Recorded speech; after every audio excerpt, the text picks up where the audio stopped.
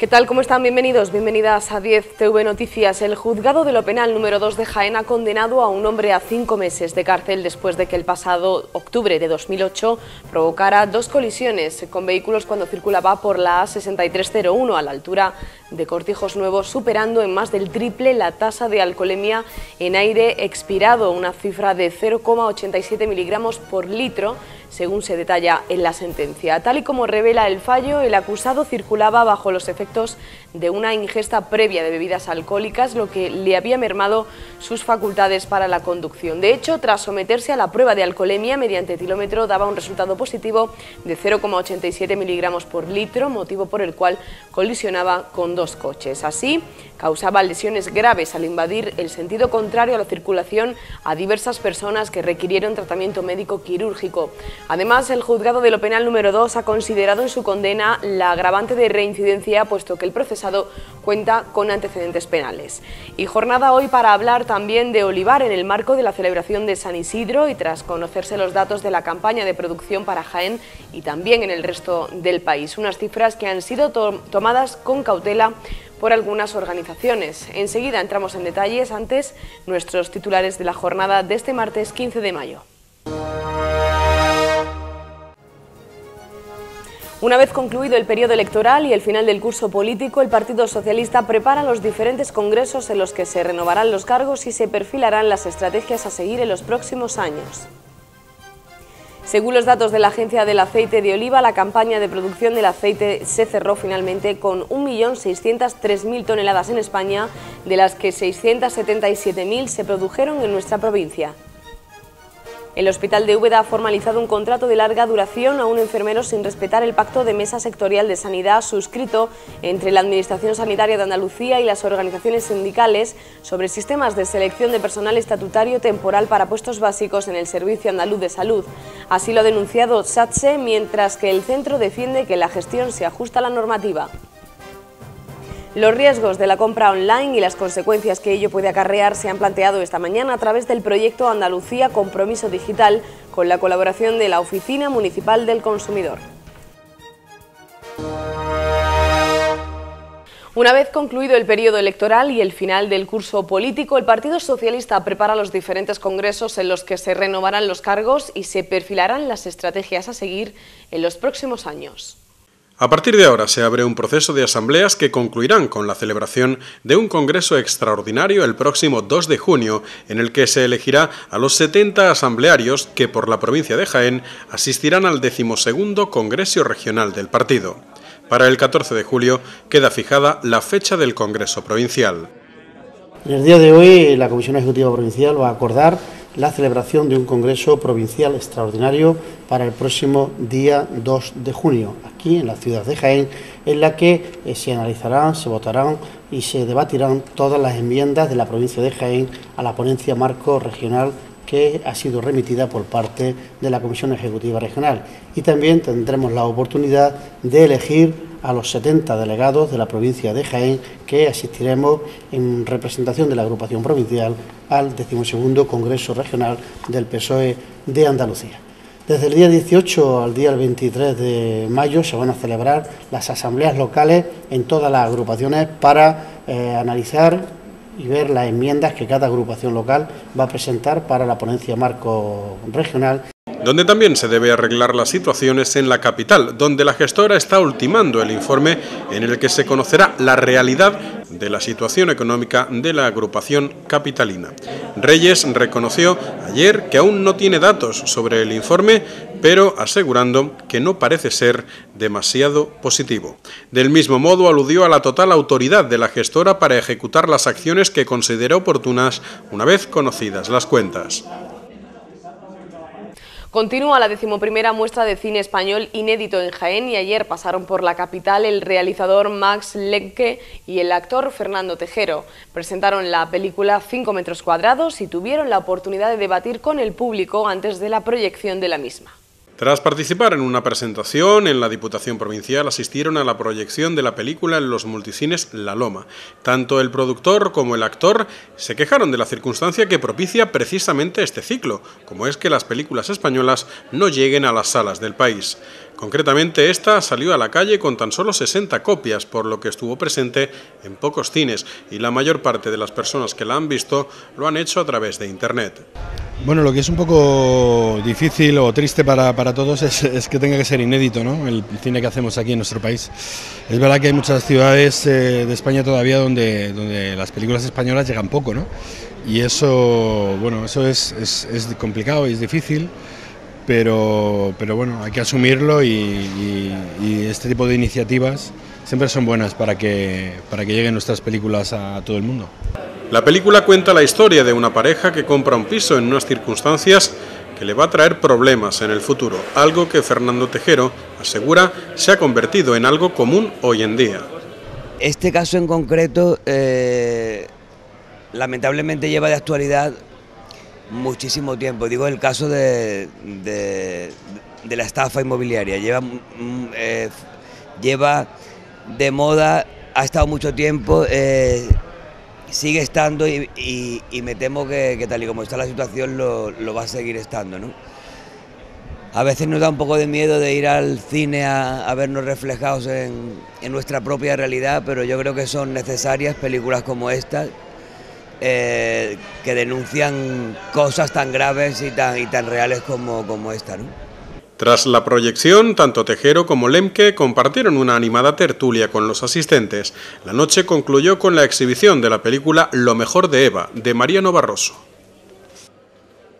Según los datos de la Agencia del Aceite de Oliva, la campaña de producción del aceite de oliva se cerró finalmente con 1.603.000 toneladas en España, de las que 677.751 se produjeron en nuestra provincia.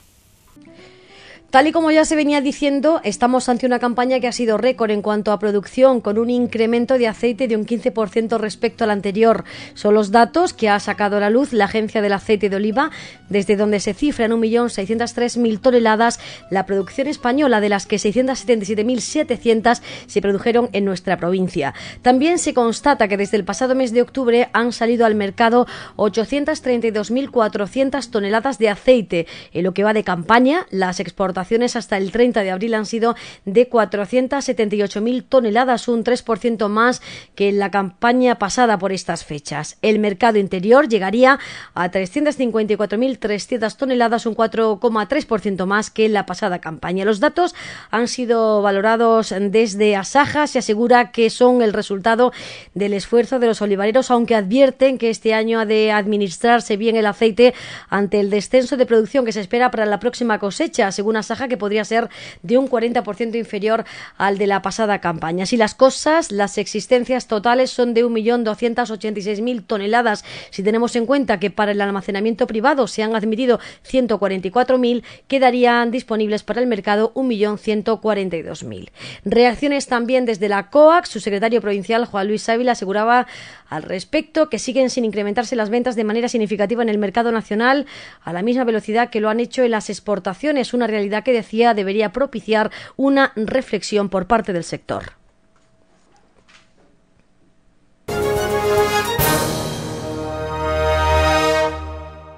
San Isidro se conmemora hoy con multitud de citas a lo largo y ancho de nuestra comarca, procesiones y actos significativos en torno a la figura del patrón de los agricultores. Hoy es el día grande de San Isidro.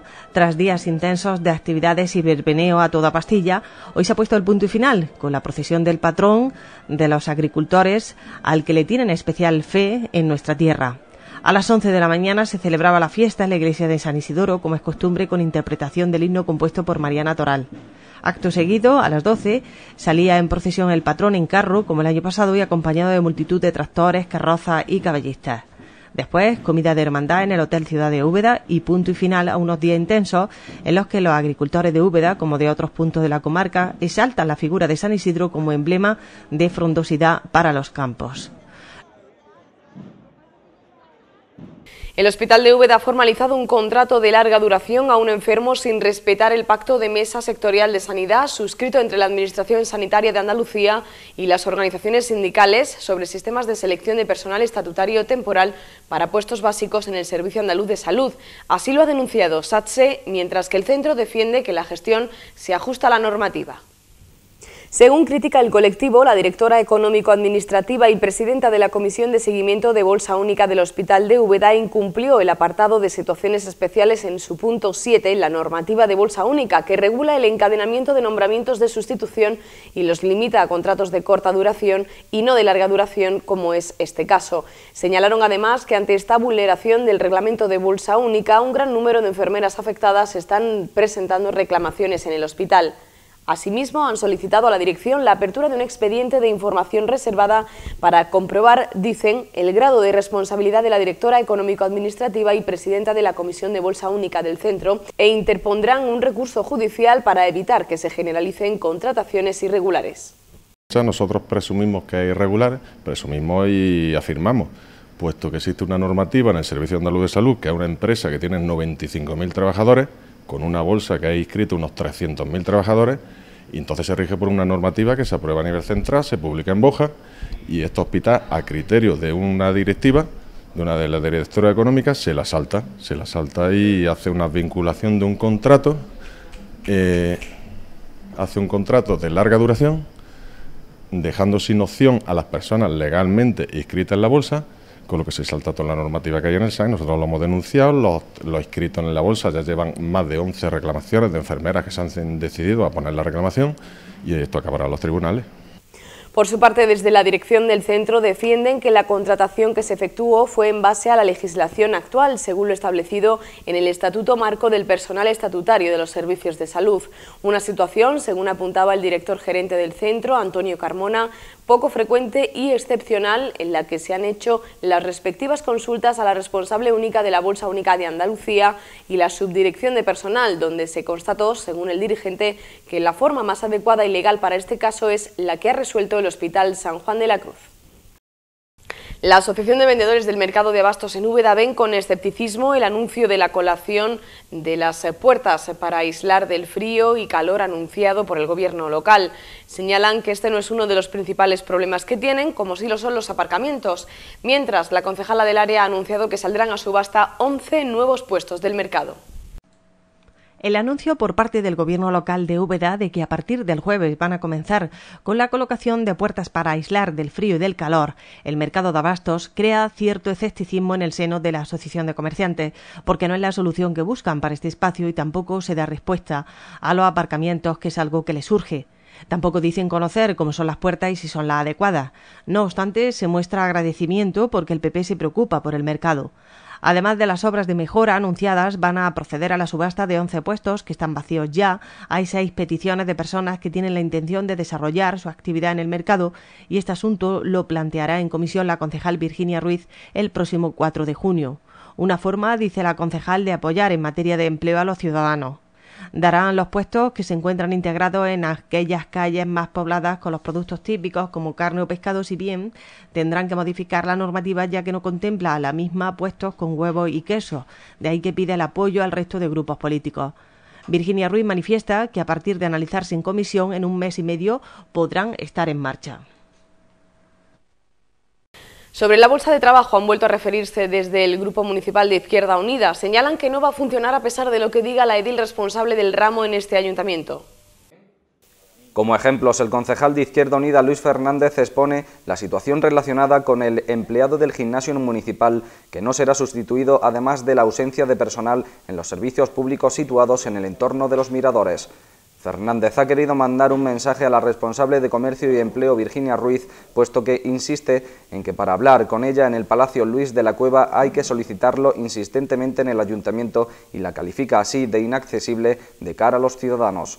Asimismo, vuelve a analizar que será muy difícil que los ubetenses puedan acceder a la bolsa de trabajo por la gran demanda de solicitudes que aparecen y por las nuevas medidas impuestas por el Gobierno central. Si lo que hoy o ayer hizo las declaraciones que hizo Montoro, ¿eh? que dice que a los ayuntamientos que no se le va a aprobar, o sea, o que no se le ha aprobado el plan de saneamiento, Montoro le va a hacer los presupuestos, por lo tanto, aquí parece ser que pintamos poco, poco o nada los concejales que estamos en este ayuntamiento, porque nos va, nos va a venir un, un presupuesto dado, vamos, un presupuesto hecho por el Ministerio de Economía, por el señor Montoro. Y yo tengo que decirle a la señora Virginia que dos veces que la he necesitado, una en su despacho, para pedirle que un trabajador que le faltaba un día para trabajar, un día para poder coger el paro, resulta que yo hablé con ella, me dijo que se lo iba a decir al alcalde, que tal que cual, pero mm, jamás me llamó después para decirme lo que, lo que pasó. Por otro lado, habla que todavía no se les ha facilitado las copias básicas de las contrataciones del ayuntamiento cuando la solicitud de las mismas se realizaron el pasado 6 de febrero. Los riesgos de la compra online y las consecuencias que ello puede acarrear se han planteado esta mañana a través del proyecto Andalucía Compromiso Digital con la colaboración de la Oficina Municipal del Consumidor. Un grupo aproximado de 20 personas mayores se han desplazado hasta el Hospital de Santiago para participar en una charla coloquio en la que han aprendido a desarrollar tareas de compras a través de Internet, adquiriendo conocimientos sobre la banca electrónica. De la misma manera, los técnicos de la OMIC y de Andalucía Compromiso Digital han intentado inculcar las diferencias entre aquellas páginas web seguras y las que pueden suponer riesgos a la hora de realizar compras online.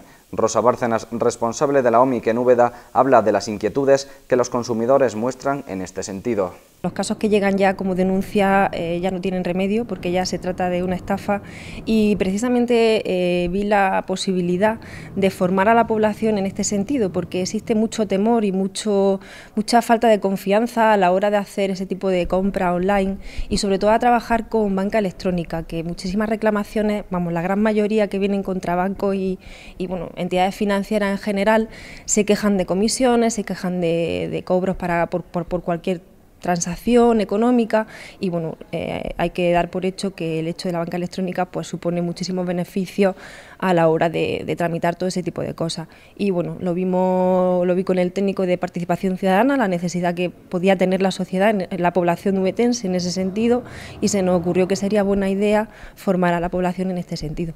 Desde Andalucía Compromiso Digital desarrollan tareas de prestación de servicios sobre conocimientos con las nuevas tecnologías y en este caso ha sido en Úbeda donde se ha hablado de la banca electrónica desde pautas básicas. Los posibles peligros, pues, primero es la estafa en la, compra, ¿no? porque hay que conocer primero el tipo de página en la, que, en la que se compra, el tipo de producto, las páginas seguras, y entonces lo que les vamos a enseñar es a, decirles, o sea, a diferenciar cómo son esos tipos de páginas, ¿no? Las que son seguras, las que no son seguras, cómo se puede reclamar, etcétera. Apuntan que la solución de los problemas a través de Internet es difícil de atajar y por ello apelan a la precaución de los usuarios.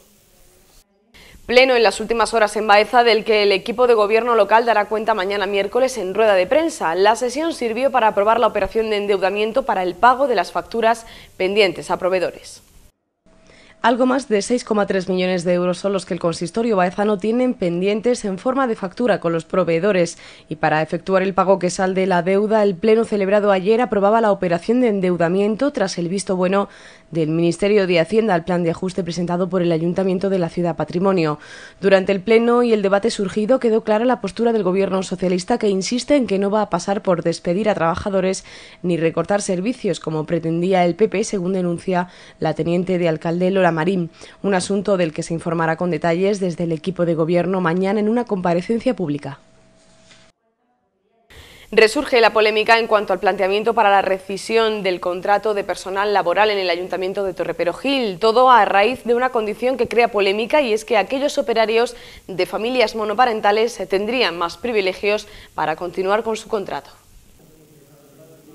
Serían cuatro limpiadores, dos albañiles, dos auxiliares administrativos, un pintor y un jardinero los que deberían dejar su puesto de trabajo. El Ayuntamiento de Torreperogil sigue negociando con los sindicatos la reducción de plantilla a la que están abocados, una negociación que no está siendo fácil, ya que las intenciones del consistorio torreño era convocar las plazas necesarias a lo largo de este año, pero según explica la alcaldesa Josefa Caballero, un decreto del Gobierno impide dicha convocatoria y por tanto tienen que optar por la reducción de 11 puestos y en ello andan buscando junto a los sindicatos los criterios más objetivos.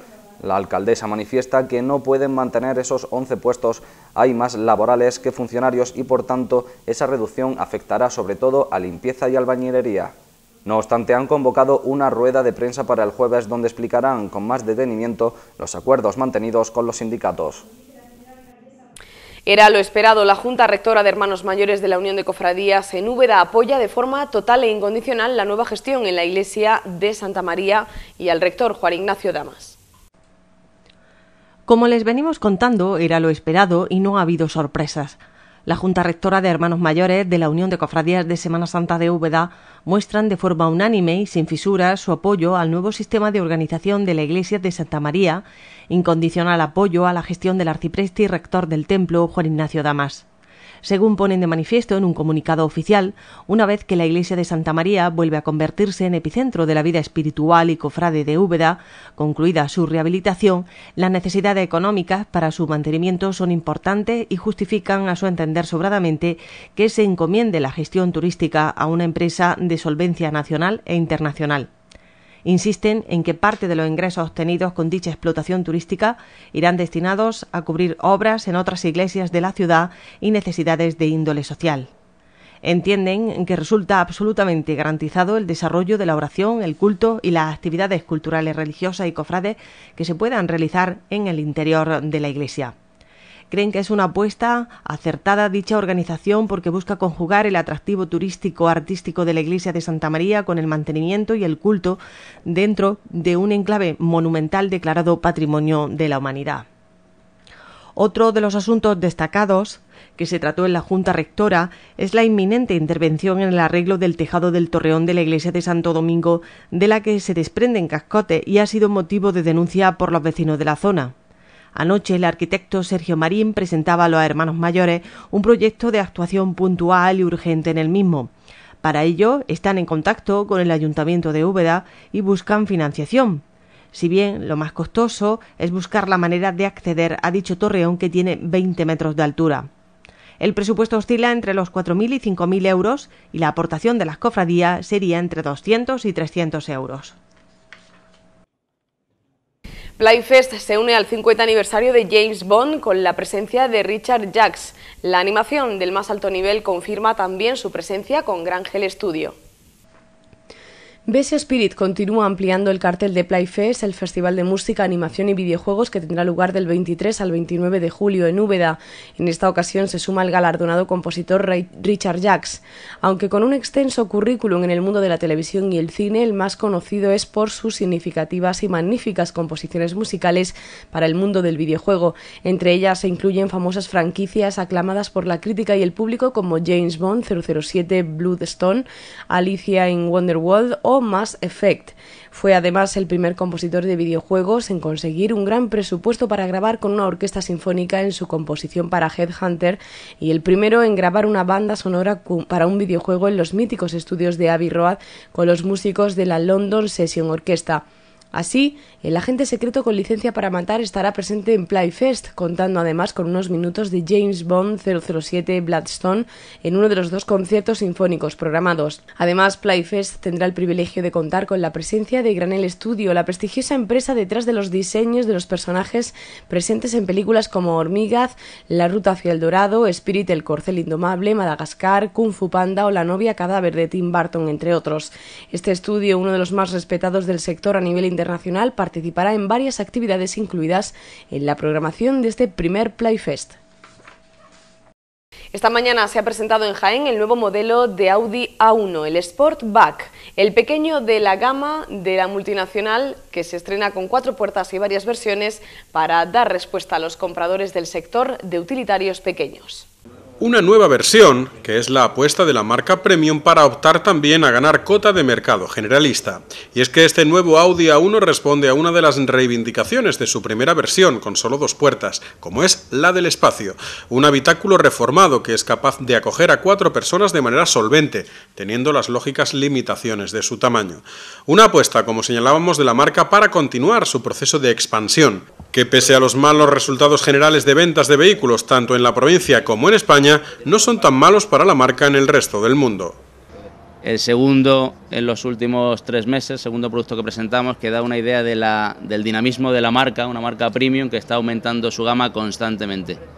De hecho, Audi es la referencia del segmento premium a nivel mundial y gracias a Dios no, solo debemos mirarnos el ombligo, aparte de España, eh, que está fastidiadilla, y de Europa, que no termina de resolver la crisis, existen otros mercados y a nivel mundial la economía y el mercado crecen.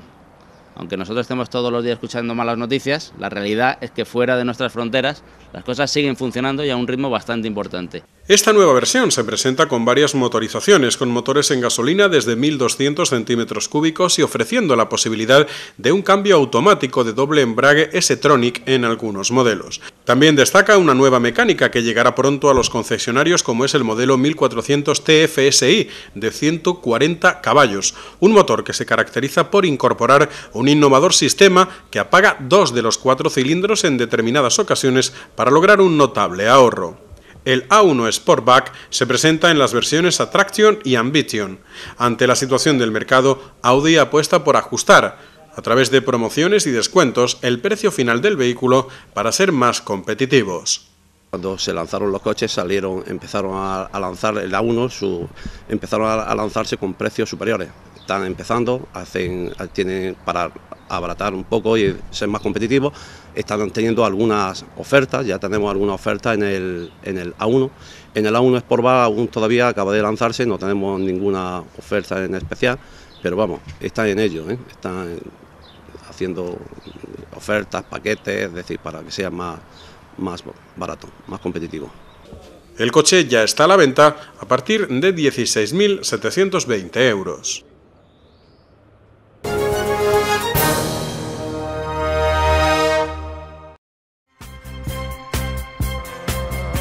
Bazar Ceuta Electrónica, relojería, regalo, confianza, garantía, servicio técnico propio. Bazar Ceuta, el bazar de Úbeda y comarca. Irene Joyas, distinción, excelencia, regalos personalizados, el mejor precio, Bazar Ceuta e Irene Joyas, en la calle Zurbarán 1. Bazar Ceuta e Irene Joyas, patrocinan el tiempo.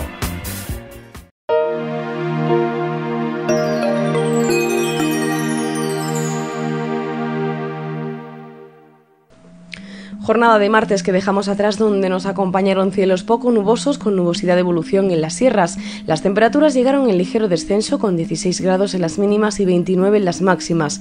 Los vientos fueron flojos variables. Para la jornada de mañana miércoles aguardamos, según la previsión de la Agencia Estatal de Meteorología, cielos poco nubosos con intervalos de nubes altas y nubosidad de evolución diurna en las sierras. Las temperaturas llegarán con pocos cambios, mínimas con un leve descenso hasta los 15 grados y máximas que rondarán los 30 en el termómetro. Los vientos esperan variables flojos.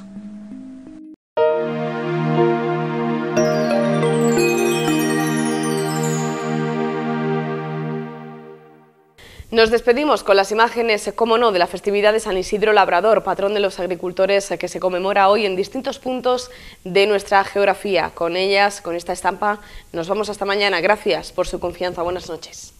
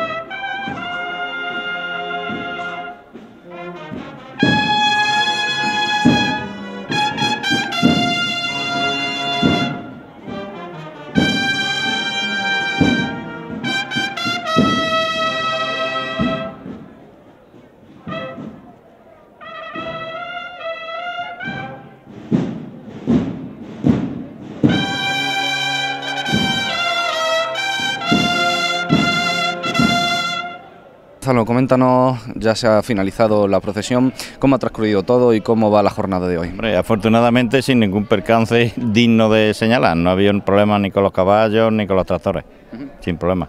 ¿Cuanto al itinerario y demás? Se ha cumplido perfectamente. ¿La participación de la ciudadanía de Úbeda? Hombre, teniendo en cuenta que es un día particular, dentro de eso, pues bien, muy bien. Más que aceptable. ¿No se ha planteado cambiarlo o poder tener la posibilidad de cambiarlo a fin de semana? Esto es, digamos, que es una fecha inamovible. Cuando cae el 15 el 15, si cae en domingo, fenómeno. Y si cae un lunes, un martes, pues ¿qué la vamos a hacer? Mala suerte. En cuanto a la demás programación de las fiestas de San Isidro, bueno, ¿qué hay que comentar? Pues comentar que el sitio es el idóneo. Hemos hecho unos días de convivencia muy buenos. Ha faltado quizás un poquito de afluencia de gente, quizás por la crisis y por el calor, por las dos cosas. Yo creo que más por el calor que por la crisis. Porque, hombre, si no tienes para tomarte 20 cervezas, te tomas dos, ¿no? Bueno, y ahora me imagino que harán una convivencia. Ahora vamos a hacer una comida de hermandad en el Hotel de Ciudad de Úbeda. Bueno, también en cuanto a los agricultores, que se comenta la cosecha, cómo, cómo ha ido este año, que ha sido próspera, pero para el próximo año. Mm, yo creo que la que cogimos el año pasado, con esa nos vamos a conformar para este también. Por tanto, ¿cuáles son las perspectivas? Mm, de cosecha, mm, de mala, muy mala. Está, el campo está muy mal, muy mal. Ha llovido tarde, ¿sabes? Poco, mucho frío, una helada detrás de otra y eso ha perjudicado mucho al olivo. ¿Las perspectivas, por tanto, de los agricultores? Mm, flinky, muy mal. bueno, pues esperemos que sean buenas y que para el año que viene sea al menos como este o un poquito menos. Esperemos que sea algo mejor. Dios proveerá, como dicen, ¿no? A través de San Isidro que nos ha hecho un capote, que falta no hace. muchísimas gracias. a vosotros.